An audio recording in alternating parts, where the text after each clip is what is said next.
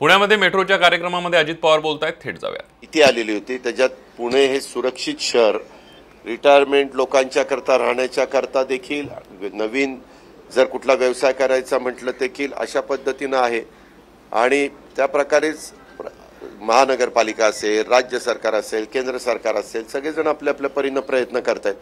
मी मगाशीच बोलत असताना सांगितलं कालच राज्याच्या प्रमुखांनी पी एम आर डीच्या संदर्भातला प्रारूप आराखडा जो तयार केला त्याच्यामध्ये उद्याची पन्नास वर्ष डोळ्यासमोर ठेवून ह्या शहराच्या वाढीव क्षेत्राच्या करता काय काय पाहिजे त्या सगळ्याचा समावेश करण्याचं काम आम्ही त्या ठिकाणी केलेलं आहे. त्याच्यामुळं प्रत्येक बाबतीमध्ये ह्या गोष्टी कशा करता केल्या जात आहेत आज एवढं करोनाचं संकट आहे आज आर्थिक ओढाताण सगळ्यांचीच आहे केंद्राची पण आहे राज्याची पण आहे बाकीच्या संस्थांची पण आहे. तुम्ही जर पुणे महानगरपालिकेचं बघितलं तर त्यांचंही उत्पन्न घटलेलं आहे राज्य सरकारचं उत्पन्न घटलेलं आहे टॅक्सचं केंद्राचं उत्पन्न घटलेलं आहे. पण जरी उत्पन्न घटलेलं असलं तरी विकास झाला पाहिजे. हे इन्फ्रास्ट्रक्चरच्या बाबी लवकरात लवकर पूर्णत्वाला गेल्या पाहिजे. अशाच प्रकारचा प्रयत्न चालू आहे. आणि त्याकरता सगळ्या पुणेकरांची पण साथ आहे. तशा प्रकारचा प्रयत्न आम्ही करतोय.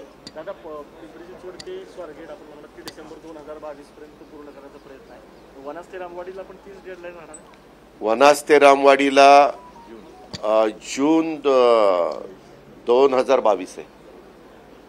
त्यांना तीच आहे. पण आता आपण जर क्षेत्र वाढतंय तसं तसं आपण पुढं पुढं जातोय. तर इथनं पण आपल्याला चांदणी चौकापर्यंत जायचंय. आणि ब- वा रामवाडीकडनं आपल्याला वाघोलीपर्यंत जायचंय. स्वारगेटकडनं खूप काही काही गोष्टी महत्त्वाच्या होत्या. जसं कामगार पुतळा कामगार पुतळ्याच्या इथे शिफ्टिंग करणं तसं अवघड होतं. परंतु तिथं कुणी राजकारण न आणता त्यांना समजून सांगण्याचा प्रयत्न केला त्यांना हक्काची स्वतःची घरं देण्याचा प्रयत्न केला काही काहींचं वेगळं मत आहे परंतु जास्तीत जास्त लोकांना त्याच्यामध्ये समाधानी करून शिफ्टिंगचं काम केलेलं आहे राहिलेलं पण चाललेलं आहे. कारण तो मधला स्पॉट हा खूप महत्त्वाचा ठरणार आहे. तसंच तिथं आपलं न्यायालय आहे. न्यायालयानी पण न्याय न्यायाधीशांनी पण त्याच्यामध्ये मदतीची भूमिका घेतली. आणि आमचा एक स्वारगट टू कात्रच हा पूर्ण टनेल करण्याच्या करता देखील माझं महापौरांशी सभागृह नेत्याशी विरोधी पक्ष नेत्याशी या सगळ्यांशी बोलणं झालेलं आहे की ते काम आपल्याला करावं लागेल. पण ह्या सगळ्याचा DPR Swargate to PCMC Pimpri Chinchwad हा पहिला झाला होता. त्याच्यात वाढीव जर जायचं म्हटलं तर मग केंद्राचे पैसे मिळत नाही. पण त्याच्यात दोन्ही महानगरपालिका आणि राज्य सरकार आणि बाकीचं वित्तीय संस्था अशा प्रकारची जबाबदारी उचलण्याचा निर्णय आम्ही घेतलेला आहे. मी दोन्ही महापौरांना तिकडचं तर काम झालेलंच आहे पिंपरी चिंचवडचं त्याचे ठराव झालेले ते जास्तीचा जर काही जबाबदारी ती त्यांनी उचललेली आहे. तशीच पुणे महानगरपालिका पण उचलणार आहे. असं महापौरांनी मला कबूल केलेलं आहे. ते पुढच्या मिटिंगमध्ये आम्ही करू. कारण तिथं एलिव्हेटर करता येत नाही तिथं अजिबात जागा नाही. आणि अंडरग्राऊंड ज्या वेळेस आपण मेट्रो करतो त्यावेळेस मात्र खर्च वाढतो.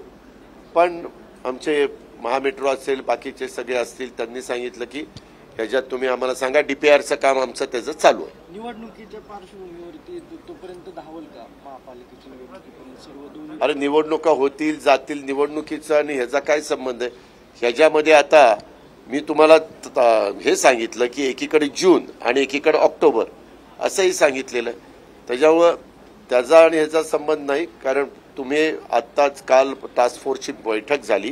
त्याच्यामध्ये तिसऱ्या लाटेच्या बद्दल देखील त्यांनी आपण सर्वांनी काळजी घ्या असं स्पष्ट मुख्यमंत्र्यांना सांगितलेलं आहे. आणि मुख्यमंत्र्यांनी पण ताबडतोब तशा प्रकारच्या सूचना प्रशासनाला दिलेल्या आहेत.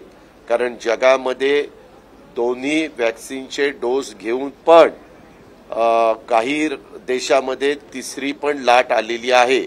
आता उदाहरणार्थ इंग्लंड. इंग्लंड तर म्हणतं की आता आम्ही बूस्टर डोस देणार.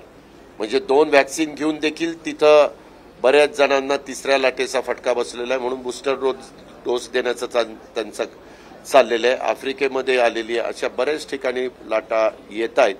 आपण आपली काळजी घेतलेली घेतली पाहिजे. म्हणूनच आम्ही साधेपणाने कार्यक्रम घेण्याच्याकरता सकाळची सातची वेळ निवडली. पण तरी देखील आपण आलाच.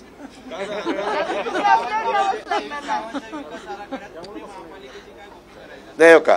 पुणे महानगरपालिका प्रत्येकजण लोकशाहीमध्ये निवडून आलेल्या लोकप्रतिनिधींना आपली आपली मतं आपले आपले विचार मांडण्याचा अधिकार असतो. काल पण कालची जी बैठक झाली त्याच्यात महापौर या नात्याने मोहळ मुरलीधर मोहळ यांनी त्यांची भूमिका तिथं सी एम साहेबांच्या समोर विशद केली. त्यावेळेस मी सी एम साहेबांच्या परवानगीनं त्यांना सांगितलं की तुमचं जे काही मत आहे त्या मताचा पण आदर केला जाईल.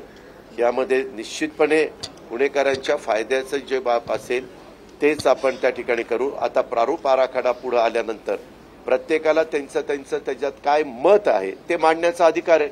त्याच्यात